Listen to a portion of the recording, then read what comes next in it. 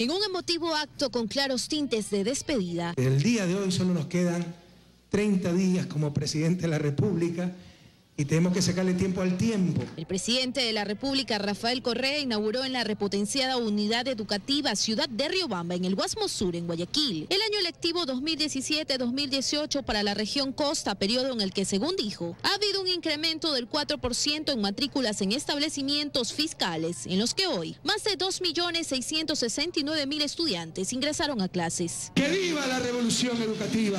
En su intervención, Correa habló del retraso en el inicio de clases en Manaví, donde más de 4.000 estudiantes hoy no pudieron retornar a las aulas debido a los efectos del invierno. Aseguró que podrán empezar a estudiar en dos semanas. Además, presentó 11 nuevas unidades educativas que en el acto fueron inauguradas en las provincias de Manaví, Santo Domingo y Guayas y cuyo costo para el Estado superó los 18 millones de dólares. Estamos inaugurando, aunque no se crea, una escuela nueva por día Finalmente, Correa le hizo un pedido a los maestros ecuatorianos. Que sean políticos, que entendamos que una educación integral implica crear conciencia política y social. Tras la inauguración del año electivo en la región Costa, la agenda del mandatario continuó con otros recorridos e inauguración de más obras, como el paso peatonal de la avenida Francisco de Orellana, el Coliseo Polideportivo Abel Jiménez Parra y el